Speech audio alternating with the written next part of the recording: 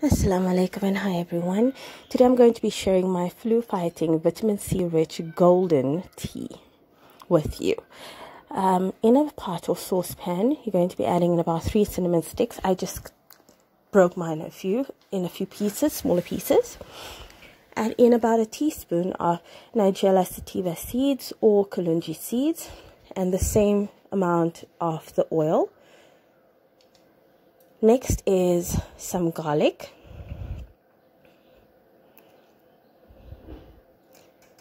And this is just um, crushed garlic, garlic paste.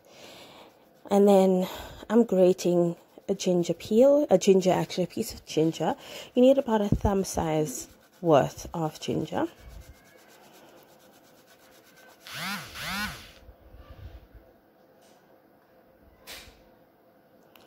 Next, you're going to be adding in some turmeric powder for its anti-inflammatory and healing properties.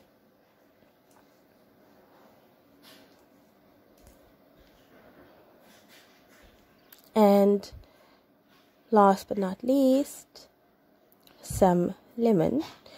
I took one whole lemon, cut it up in fours, and I'm just squeezing out the juice from there.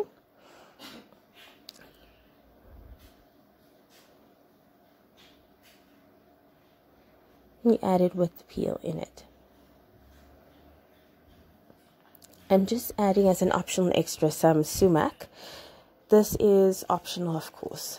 You're going to top this with some water, about three quarters of a liter of water. So about 800 mils, 850 mils around there should be fine. And then you close the lid of the pot and you're going to be putting this on the stove to boil for about 5 to 10 minutes. Once it's boiled, you're going to strain it and have a cup, a cup of this as hot as you possibly can take it.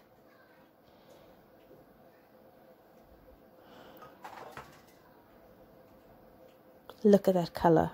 It's amazing.